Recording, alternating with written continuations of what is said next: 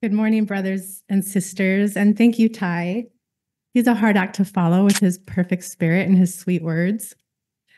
Today, I am going to speak on a topic that is very dear to my heart.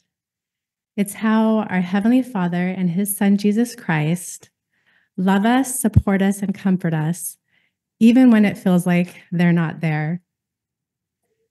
Sometimes we want what we want when we want it. And we may not be given what we want, but we always will be given what we need. And if we look for miracles in our life, we will be able to find them. So, fun fact when I was around 10 years old, I was in primary, and our teacher was teaching us about when Peter walked on water. So, Peter and the disciples were in a boat, and there was a bit of a storm, and they were scared. And so, Jesus walked out on the water to go comfort them. And when the disciples saw him, they were scared again. They're like, Is that a spirit? And Jesus called to them and said, Be of good cheer. It is I. Be not afraid. And then Peter did something I would do. He said, Lord, if it be thou, call me out onto the water. So he wanted to walk on the water too. And Jesus said, Come. So Peter, in his great faith, stepped out of the boat and actually started to walk on the water. But then the waves and the wind scared him and he started to sink. And he said, Lord, save me.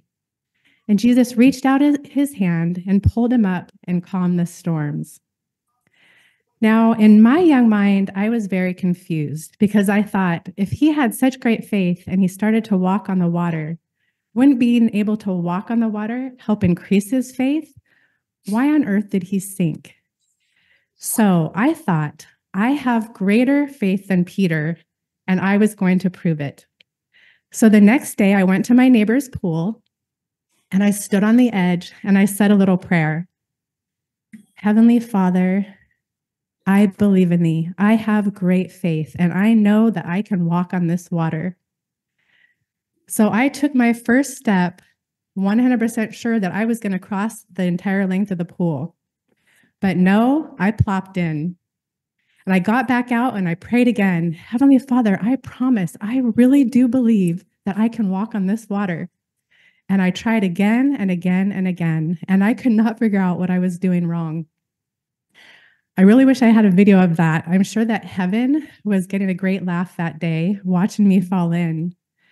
But I also think that heaven was actually proud of me for my young faith and for the fact that I still felt the Savior's love and had a strong testimony.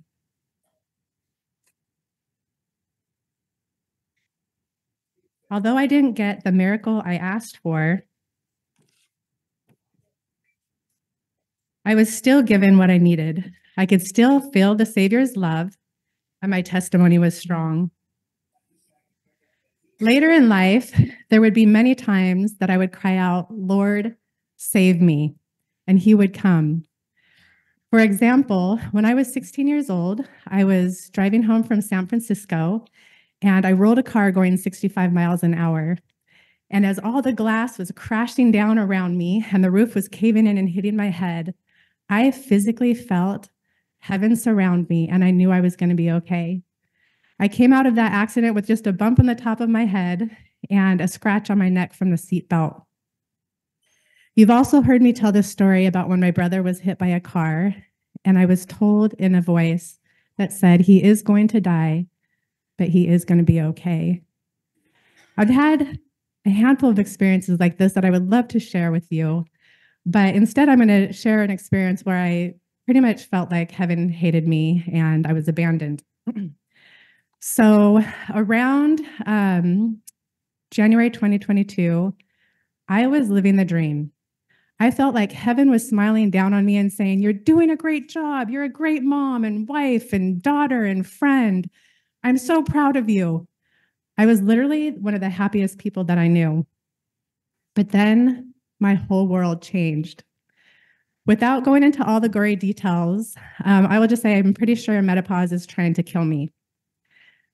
So for about a year, I just over a year, I have not been sleeping well. And I went months and months with only getting three hours sleep a night. And I would cry out, Lord, please save me. It was torture. But he did not give me the answer to my prayers that I asked for. Instead, he, I received anxiety. My body was so stressed out from not sleeping that I developed this pain in my chest that I feel all the time to some degree each day. Sometimes it's mild, sometimes it's severe.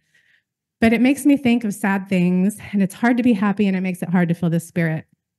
And once again, I cried out, Lord, please save me. And instead, I got tinnitus in my ears. So every day, all day, and all night, I have a ringing in my ears.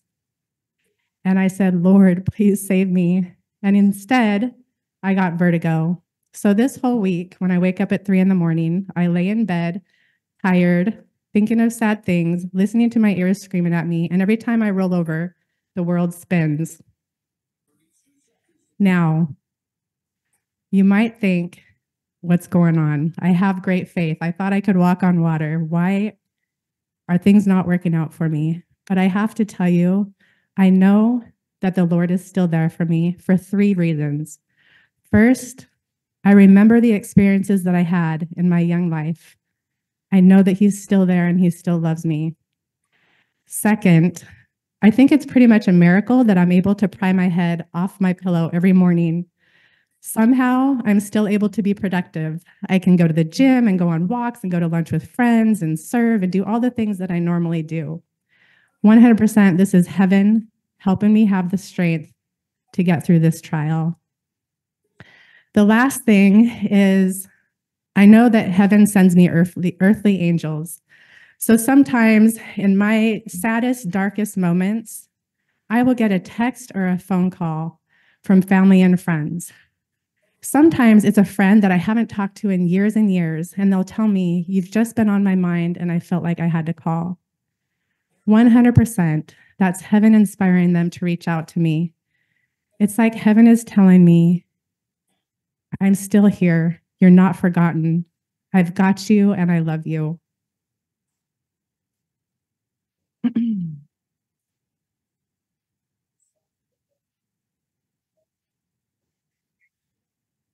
so, in the words of Elder Holland, he says, God watches over us. We can always trust in him. He very often answers our prayers through other people. On days when we feel we have been pushed to our limits, we are reminded that we won't be pushed beyond our faith. The old adage is man's extremity is God's opportunity. We won't discover just how much strength we do have until it is tested, refined, and tested again. So, going through this hard time reminded me of another funny story having to do with the pool.